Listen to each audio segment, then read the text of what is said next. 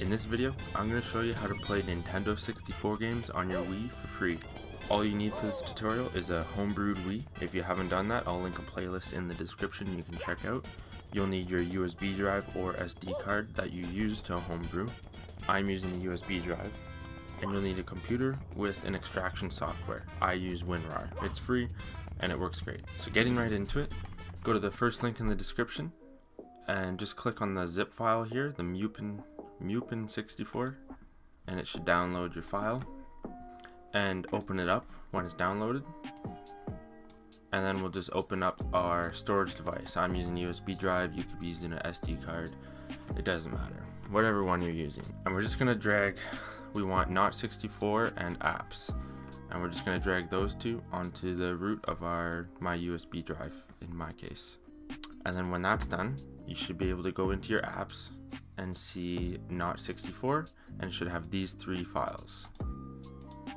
And then back on the root, you should have a folder that's also Not64 and it should have ROMs and saves. ROMs is where we're going to put our games. If you'd like to know how to get games, just type in Vimm's and uh, go to that link and you can download your ROMs. But you didn't hear that from me. I don't condone piracy. this video is for educational purposes only. Once you have your ROMs, I have a few in here. Your ROMs can't be a zip file, so just right click it and press extract here. And once you've extracted them, you can delete the zip files. You don't want to keep those on there. It could confuse the emulator. So Mupen 64 Plus, it just stayed on there. It's tiny, I'm gonna leave it. And your ROM should look like this, Z64, and I believe the other format is N64. So, once you've double checked that, you're ready to eject the USB drive or SD card, and I'll meet you on the Wii. We're on the Wii now, and in previous videos, we have channel installers for the Game Boy, NES, SNES, but the N64 is a little different. It's like Nintendo, you have to install a WAD, so I might make a video on that separately in the future. But once you're on your home menu, just go to the homebrew channel, start it up, and then you're gonna click on not 64 load it up. Sometimes it takes a little bit to load. Do not fret. And here we go. Now before you play any games I do suggest you go into the settings and double check that your save state device is on whichever type you're using. So I have a USB drive which is FAT32 so I it is on FAT so I'm just gonna double check that it's the save devices are on USB.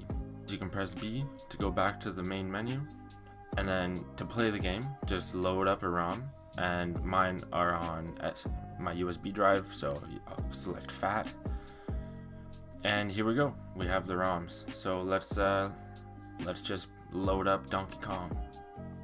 Now right now it feels like it's frozen but it's not. So if that happens to you and you get concerned just give it a second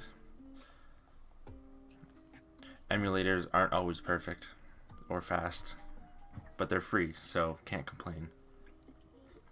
And now it's loaded, so press OK. And then, as you can see, it says Donkey Kong here, autosave enabled, and just click play, play game, sorry, and we'll see if it works. Okay. Alright. I'm not gonna lie, I have never played Nintendo 64, but I was always jealous of uh, Super Mario 64. It looked really fun. but here we go, we are playing Donkey Kong right now. And it seems like the home button is start. You may have to figure out the controls, but it should be pretty easy to figure out. I'm just gonna plug in my classic controller quick. Yeah, there we go. Now we're now we're moving. So I'm not entirely sure if it is possible to play on the Wii Remote, but you can pause it by, or you can go back to the main menu of not 64 by pressing 1 and 2 at the same time. But I would suggest using um, a Wii Classic controller. I think that's the best way to play. Okay, I watched the entire cutscene, and that is that is long.